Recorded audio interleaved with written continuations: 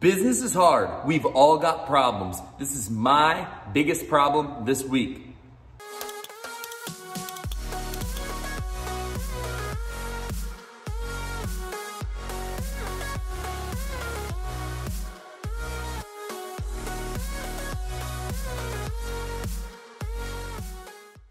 All right, before we get into it, you know the drill, guys. Like, subscribe, and hit the bell to get notifications of new videos that will be coming to you soon. All right, this is my favorite. This is the one we do every week. My biggest problem, the biggest challenges of the week that have brought themselves up. And this week, I have one that is so relevant that has hit us for the first time in a while this season, and that is just horrible weather. Horrible weather. You guys are all used to this coming out of spring or coming into spring and then coming into the winter. And it's such a it's such a big part of business, you know, for our business. Weather is horrible. You know, weather can completely change the game. You might be down for a week. You might be down for days. It might throw off your schedule. It might upset your customers. There's so many things. So this week we got torn into a big landscape project. We got to, you know, we dug into this thing and we knew the weather was coming. So we got into it in a day, we dug it out, we got some of the base in so we'd be able to continue working on as soon as the rain blew over. But it brings up so many challenges, you know, muddy conditions, tearing up yards worse, making more cleanup out on streets and stuff from dragging it with your tracks, dragging it from whatever machinery. And like I said, this video is very, very industry related. So any construction field that works outside. Um, but it can just it can just do so much you know? So we got into this and i thought we'd be able to maybe get on it the next day if it didn't rain the whole day. So monday we get in we tear it open. Tuesday rains all day. Swamp all day long. Got like two inches of rain. Wednesday i was like for sure we're gonna be able to get in on this thing. Everything looked like it was good. I thought we were just gonna get it like a flurries in the morning and then it was gonna warm up. Ended up snowing most of the day. Two days off the project then we circle back around and Thursday comes around. I'm like, okay, we're gonna we're gonna be able to get some time on this thing. Let's let's get in on this thing. Let's try to get let's let's get our bearings back. Let's get cranking and uh, let's get ready to rock and roll and, and get this thing going. By the way, I'm off a day. This has actually started on Tuesday and it is actually Friday right now. I, I know we're gonna be able to get back on this thing and we are able to get back on it. It's really, really muddy.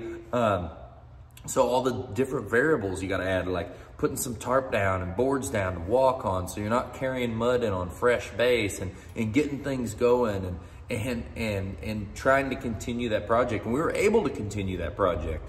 And this is just sharing like how painful weather can be and how big of a problem it can cause in a weather related field such as lawn care and landscaping and any kind of construction field where you're running equipment, excavation outside.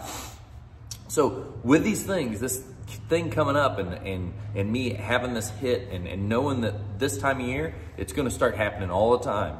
There's gonna be bad weather. It's gonna get really cold. It's gonna freeze thaw. It's going to rain more than, than typical. The ground's going to be much slower to dry out than it typically would. And it's something you have to think about. So the big takeaways from this is, is don't be thinking about these first rains and being like, oh, how do I get through that and this and that. Be thinking that this is coming. It's cooling off. It is, you know, in Florida, you're, I guess you're kind of actually finally coming out of, uh, the wet season, so it's a little bit different there. But any of these northern states, it's gonna start cooling down. The rain's gonna start happening more frequently. When the rain's in the schedule, it's actually gonna happen. It's not gonna just and go away as often.